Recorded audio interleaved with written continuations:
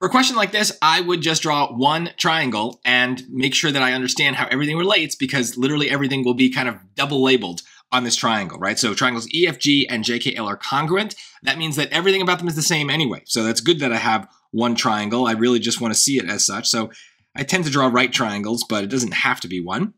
Uh, yeah, we are EFJ and correspond to JKL respectively. So uh, yeah, EFG and then JKL. The measure of angle E is 45, so that's up here. And the measure of angle F is 20 degrees, so that's down here.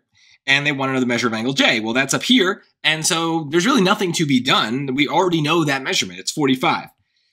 So did I do a lot of work for nothing? Maybe, but the thing is, we don't really know where we're going with the question all the time until we kind of get there. And I have habits that I've put in place after many years of taking the SAT that I know will work and save me from potential mistakes when these questions do get harder. So some of you can get this by just thinking about it and recognizing that if they're asking for a J, they're also asking for E, which they just give us. That's fine, but I do think it's risky. I see people get stuff like this wrong all the time because they're they're not able to picture things in their brain as confidently as they think. And so I like to draw the picture. It takes three seconds. I am not wasting time. If you run out of time in a math section, trust me, it's not because of stuff like this. It's because of other decisions you're making later. And I think it's because you don't have the strong kinds of habits that you just dive right into like I uh, like I have, even on the easy ones.